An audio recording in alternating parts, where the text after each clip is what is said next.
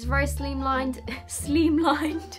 I give up. Without clumping, huh? Hmm? Hmm? You sure about that one? Does that make me a proper influencer? Have I just gone up in the world? the things I end up buying when I'm stuck at home multiple days in a row. To be fair, that is most of my life anyway. But today's video is one of the bougiest purchases I've ever made. Well, definitely in terms of makeup products. So I was just scrolling down my Facebook the other day and I got an advert for this Gucci mascara. First of all, I didn't even realise that Gucci, I knew that they had a makeup range, but I thought it was just lipsticks. Turns out they actually have a fair few products. But the thing that caught my eye about this Facebook ad is the mascara looked like the clumpiest mascara I've ever seen. And I know that obviously they're like a high fashion brand, so they were probably trying to make it look high fashion. I'm guessing that's just for the promotional pictures. I wanted to see if it actually turns out like that because this mascara was not cheap. This mascara was 30 pounds, but I ordered it online. When it arrived, it came in not only a Gucci bag, which was inside a box, which was also plastic wrapped and said like security checked on it. You get the letters that come if you buy like a designer bag and then the mascara comes in a dust bag like you would get if you were buying a designer bag.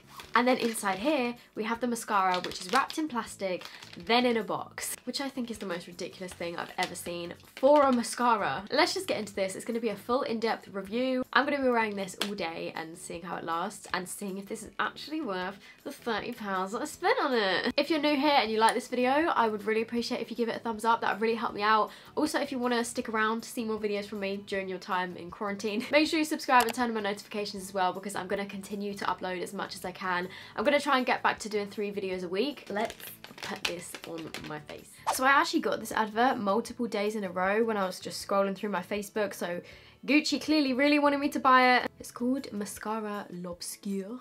That can't be what the mascara looks like because it just looks so bad. The ultra rich creamy formula builds volume, I'm going to hold them to that, while curling and lifting the lashes, adding length and definition with a long wearing finish. That's basically claiming to do everything. So the time is currently 2.45 in the afternoon. I'm going to wear this probably until midnight. One of the bullet points Okay, rich creamy texture adheres to the lashes for a long wearing smudge and flake proof finish that lasts up to 12 hours. Buildable volumizing formula thickens lashes without clumping. Without clumping, huh? Hmm? Hmm? You sure about that one? Anyway, let's just get it out. Things are getting wild up in this quarantine. It has a nice box. It is recyclable, which I like to see. On the website, it looks like it's a pink matte tube. However, the tube itself is more of a nude colour, I would say, and it's glossy rather than matte, not that that really makes a difference. Packaging does look very nice. It's very slimlined. slimlined? I give up. All it says on it is Gucci, that's it. So these are what my eyelashes look like beforehand. You can't see them too much. I do actually tint my lashes these days, but when they're covered in foundation, you can't really see that that well. Um, but my lashes, my lashes, my lashes. My lashes are naturally blonde. They are quite long, um, but you can't really see them until I put mascara on, but we're about to see what this does. Handle bit is metal, so it feels kind of weird. Like it's very, this handle is very heavy. The brush looks really nice. It's got really, really short little plastic bristles, and did I even bring a mirror over here? Let's do one eye first. Oh. Considering this is the most I've ever spent on a mascara, I'm expecting it to be the best mascara I've ever tried. Well, you know what? The first coat isn't bad. That's actually pretty decent looking for the first coat of a mascara. Oh, it is a bit messy though. It's getting on my eyelids. Wow, okay. It's really lengthening my lashes. At the moment, not getting masses of volume, but I'm definitely going to add a few coats like I normally would. I like the brush though. It's really easy to get into the inner corners because it's so skinny. Well, so far, it is not looking anything like the advert. If in the description it says clump free, and it can look like this, why would anyone want to buy the mascara after looking at these adverts. Who is going to buy that after seeing those? Well, other than me. oh no, I think I just laughed and got it on my... Yeah, I got it up here. Okay, so it's a little bit messy. It's quite a wet formula. I'm going to go in with another coat and see if we can build the volume a bit. I'm not getting a crazy amount of volume with it and it is starting to clump a little bit now. I do like a relatively clumpy eyelash, but as long as it's got volume as well. Wow, okay, on my lower lashes, that is working wonders. This is what it's looking like after a couple of coats. As you can see, it is definitely starting to get a bit clumpy, and it did get quite a lot on my eyelid. It looks pretty decent though, I'll give it that, but not as good as some of my drugstore mascaras, to be honest. I'm just gonna get a cotton bud to clean up this mess.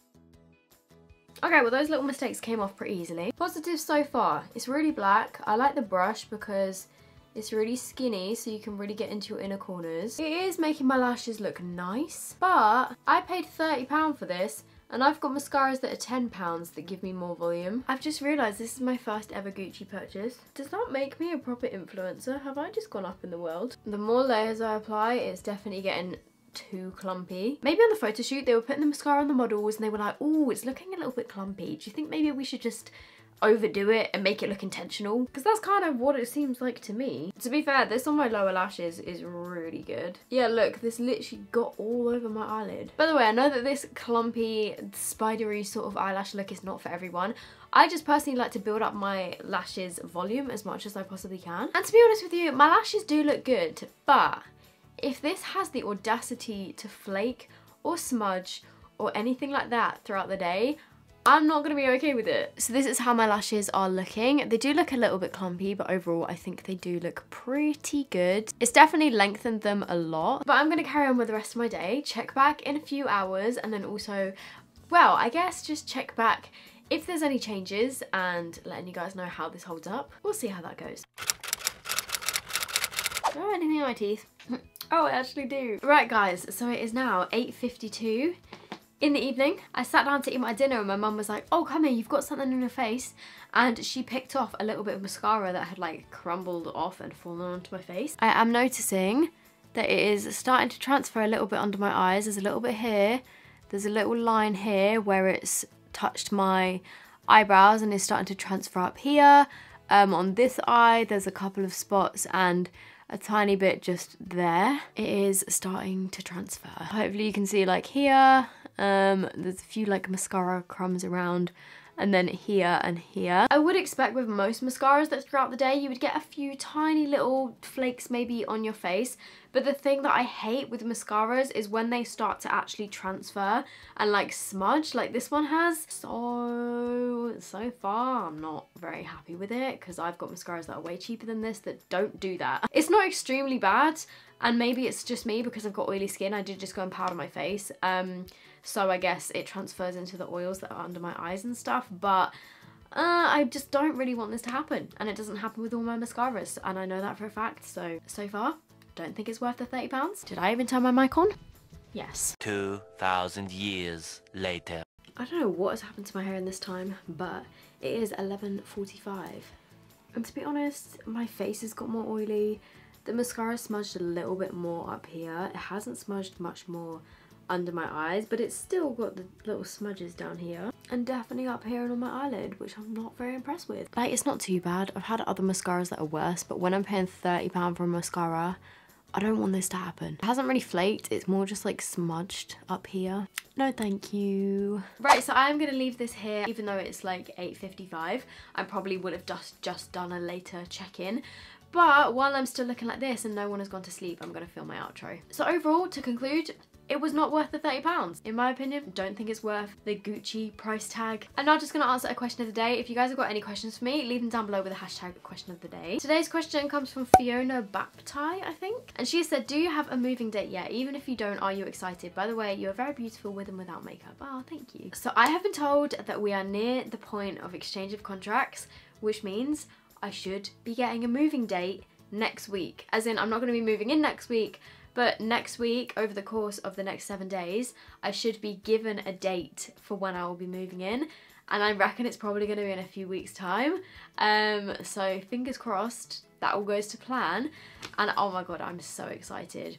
I'm a little bit nervous because with the current state of things, I don't know how easy it's going to be to get stuff like furniture delivered and things. And currently because both me and James live at home with our parents, we don't have things like sofas and beds that we can take. Well, I do have this bed that I'm filming on, but I'm actually leaving this bed here because it was a bitch to assemble it. And honestly, I think if we disassemble this bed, I don't think we'll be able to get it back up again. I will be taking the mattress though. Um, but yeah, the only like furniture stuff that I've got already is like my makeup drawers and my mattress and that's about it. We don't have a dining table, we don't have a sofa, we don't have a bed frame.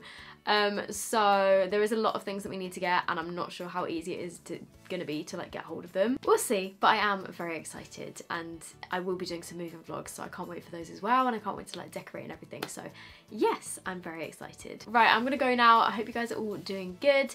If you like this, give it a thumbs up, subscribe if you're not already, and I will see you guys in my next video. Bye!